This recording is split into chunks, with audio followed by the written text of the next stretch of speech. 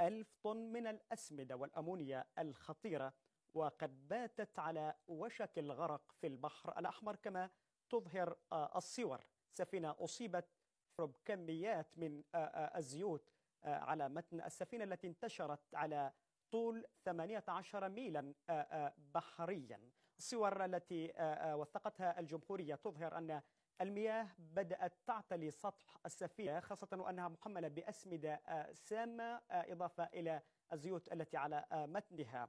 الحكومة كانت قد طالبت المنظمات الدولية والهيئات والدول المعنية بحماية البحرين يوم الثامن عشر من فبراير الجاري.